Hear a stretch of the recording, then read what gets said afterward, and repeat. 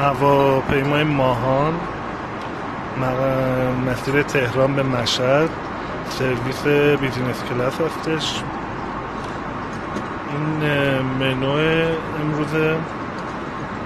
و این غذایی که من سفارش دادم مرغ کاچیاتوره و چلو زعفرانی هستش.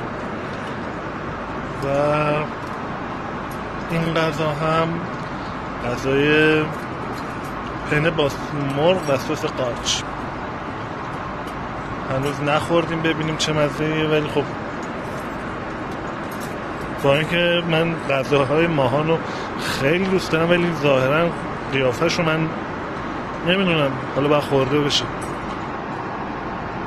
این هم نمایی از هواپیما. بیرونم که تاریکه شبه. ساعت نزدیک ده شبه.